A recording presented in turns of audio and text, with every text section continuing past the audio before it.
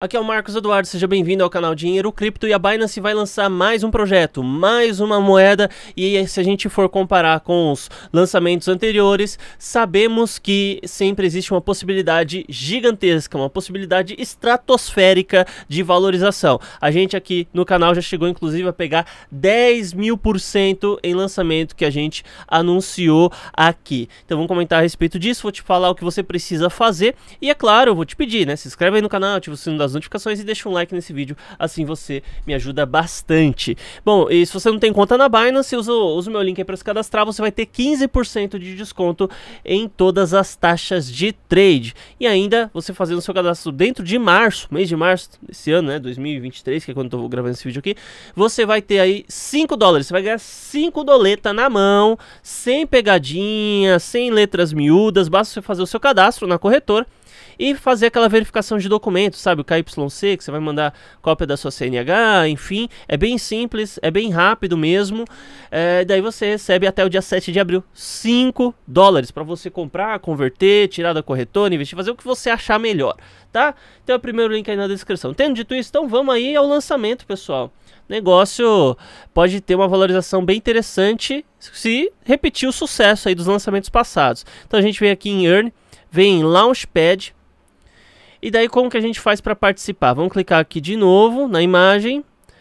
Para a gente participar basta ter, além da verificação e o cadastro na Binance, obviamente, BNB dentro da sua carteira. Pelo menos 0.1 BNB guardado. Então você estará apto para participar uh, do é, do projeto Space ID, que é o lançamento que a Binance está realizando. Eles vão fazer a venda inicial por 0.025 dólares, ou seja, do, um pouquinho mais de 2 centavos de dólar. Serão oferecidos 100 milhões de tokens. Uh, o investimento inicial é de 0.1 BNB. Uh, e aqui tem aí o, o limite por usuário são 150 é, mil dólares, enfim, né? Bom, é, é, bastante coisa, né? Bastante coisa. Vai dar para todo mundo comprar.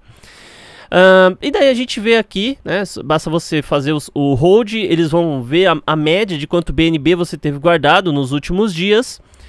É, o período da inscrição, então, da inscrição, do cálculo e da distribuição do token é tudo no dia 22, começa às 3 da manhã.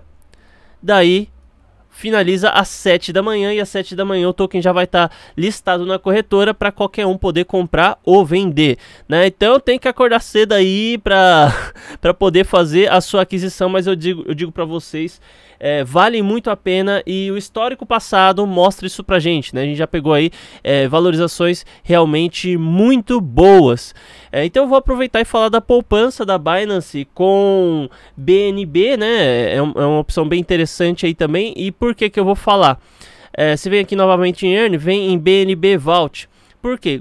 Guardando BNB e rodando o BNB em si, você já tem uma rentabilidade que é baixa, tá? Na verdade, ela, é bem baixa. É meio por cento, né? Me, aliás, menos de meio por cento ao ano. Porém, sempre tendo BNB, você vai ter algumas vantagens aí. Que sempre que tiver um launch pool, né? Esses daqui são os launch pools que, que eu participei, o Anchor, é, o Ank, né? O ATA, o do Manchester City, é, todos esses daqui foram os, os, que eu cheguei a participar. Então tem vezes que a Binance, ela em vez de fazer um launchpad, né, ela faz o chamado launch pool e você automaticamente pode participar do rendimento só pelo fato de já ter só pelo fato de já ter BNB guardado.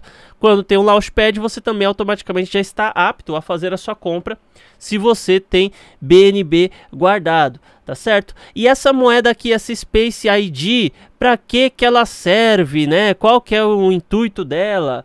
Bom, essa moeda aqui, ela tem a ver, a ID, né, justamente uma é, identificação digital, tem uma correlação direta com a Web3 e a ideia dela é que você possa realizar, realizar registros de domínio utilizando a plataforma. Então você vai ter um, um é, um domínio.bnb, domínio.arb e ainda tem algumas outras opções aí.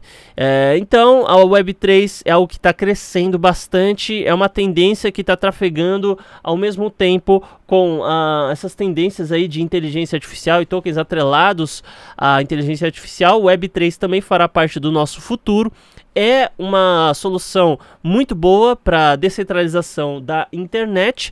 Então eu vejo aí que esse projeto tem tudo para crescer. Agora, se você for perguntar a minha opinião pessoal sobre é, é, interessante rodar, não é, o que eu faço, tá? Eu vou falar para vocês o que eu acredito ser interessante, daí fica a seu critério tomar suas decisões, né? Não, não vai não vai falar que eu tô falando para você fazer alguma coisa. Então, eu particularmente, quando eu entro em um projeto eu consigo pegar pegar valorização, eu vendo já 80% de cara, tá? Meteu valorização, conseguiu? Vende aí 80%, os outros 20 provavelmente vai ser nem o seu lucro todo, vai ser só parte do seu lucro se você conseguir um time muito bom para realizar a sua venda.